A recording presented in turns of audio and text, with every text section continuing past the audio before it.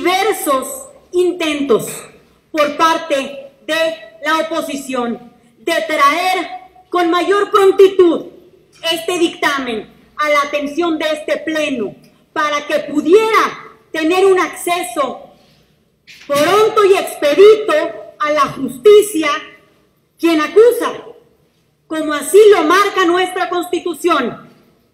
Pero la mayoría y sus aliados con diversos artilugios estuvieron deteniendo la votación para que pudiera ser.